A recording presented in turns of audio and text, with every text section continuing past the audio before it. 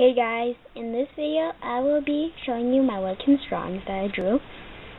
So yeah, let's get started. Okay, so here they are. This is the golden retriever and the rabbit.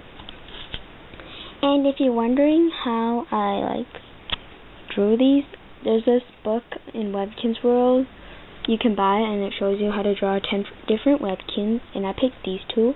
There's three different reasons. I picked these two Webkinz because they're easy to draw.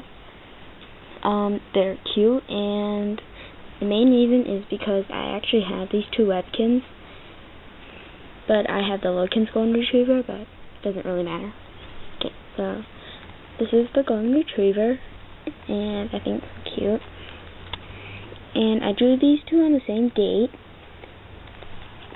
the 9th, which was two days ago. Okay, so now I'm going to show you my actual golden retriever, and I'm going to pair it to this one. So I'll be right back. Okay, so here's my golden retriever, and her name is Cinnamon Twist. And they look pretty identical, except this one's not wearing any accessories, of course.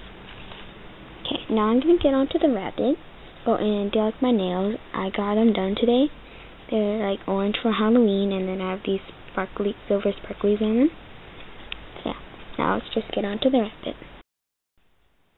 Okay, so here she is, and her name is Snowball. And they look pretty identical too, except this one doesn't have any whiskers, and it's not wearing any clothes or accessories. Okay. Oh, and um, I'm not trying to show off anyway by showing you guys like how well I draw or anything. Okay, so here's another look at them. Golden Retriever and Rabbit. And out of these two, I like my Rabbit better because I think I did a better job on it. I like my Golden Retriever too. Okay, so those are my Webkinz drawings. And so, bye. Peace.